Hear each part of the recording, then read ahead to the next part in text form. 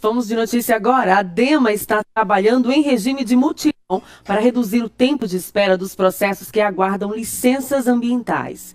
A Administração Estadual do Meio Ambiente agora está funcionando o dia inteiro.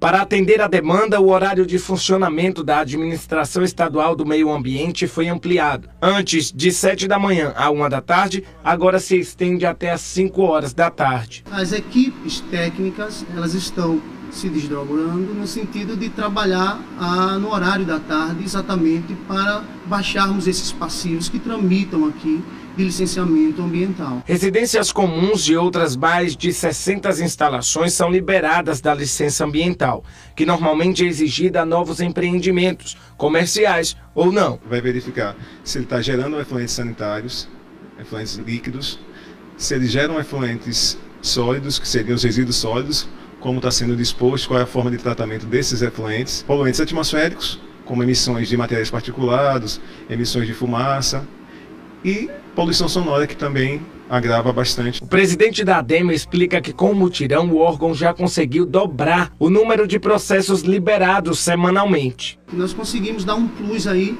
de cerca de 30 licenças a mais do que nós produzimos semanalmente. Hoje tramitam na ADEMA mais de 1.600 processos, que poderiam ser liberados de forma muito mais rápida se chegassem aqui atendendo aos requisitos da legislação ambiental. Se os processos vierem certinhos, com toda a documentação completa, apresentados, projetos devidamente elaborados e devidamente constitu constituídos, a análise do processo demoraria em torno de 60 a 90 dias. O grande problema nosso hoje mesmo, que vem causando também esses passivos aqui, essa demanda das pessoas responderem aquilo que deveria estar já ser formalizado devidamente.